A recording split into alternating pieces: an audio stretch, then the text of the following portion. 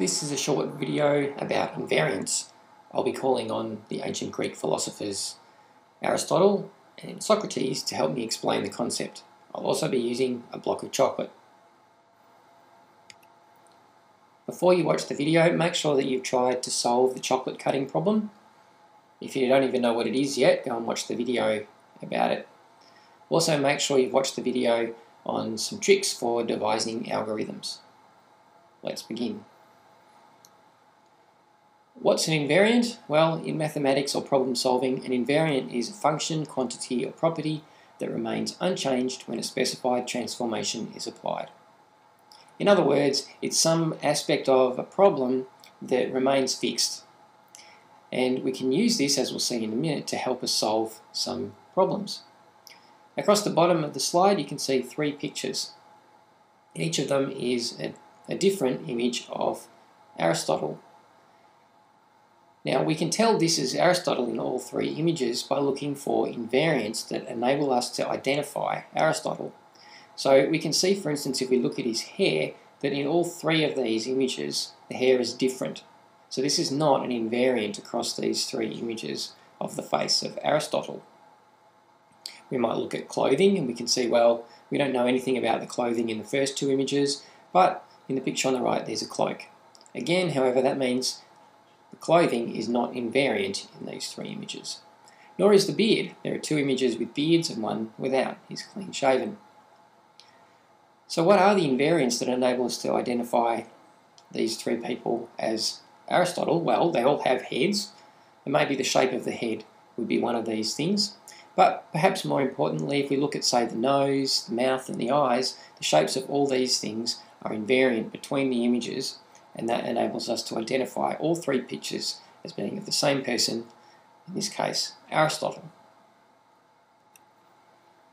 Could this person be Aristotle? Well, if we look at the beard, as we said, we can't really tell anything because we've only got two beards. But even so, we could, or two beards in the Aristotle pictures, but we could actually look at the beard and see that this is a very different beard to either of the two images of Aristotle that have beards. But more than that, if we go back to the invariants, we can see, for instance, that the shape of the nose of this top figure is very different. The shape of the eyes is also different, and the shape of the mouth is different. So these three things that are invariant across the bottom three images are not reflected in the top image, so in fact, that is not Aristotle.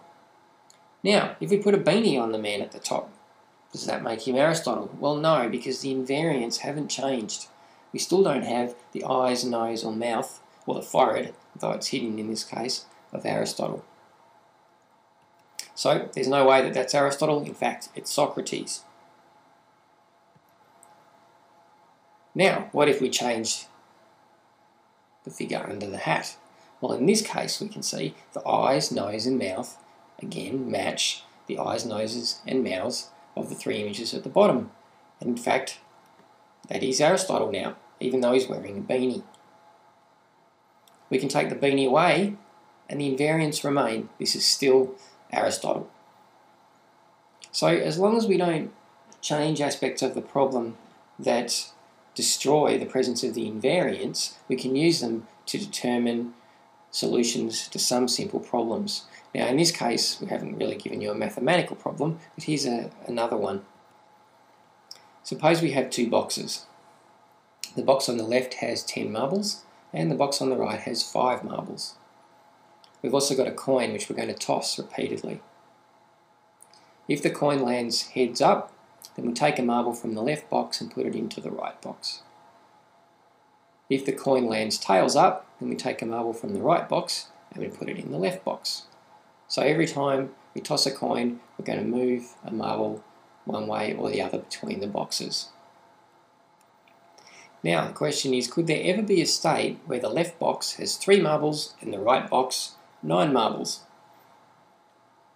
How could we solve this problem?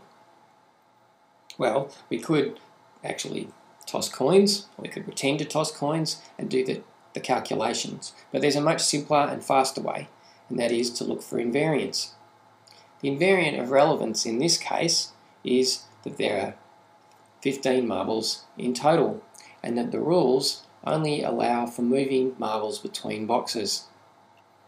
So, could there be a state with three marbles and nine marbles in the two boxes? Well, no, because we would have lost three marbles. So the invariant, being the total number of marbles, remains unchanged, and it would be impossible for us in this case to get a situation with 12 marbles. Okay, let's look at the chocolate cutting problem again. On the left is the block of chocolate as we bought it, and the aim of the puzzle is to find how few cuts we can make to cut the block into individual squares. Now, I'm going to write over on the right hand side of the slide the number of total pieces we've got and the number of cuts we've made. One piece, no cuts. Now we've got one cut and two pieces. Two cuts three pieces. Three cuts and four pieces. Four cuts and five pieces. Look for the invariant. Have you spotted it yet? Five cuts and six pieces.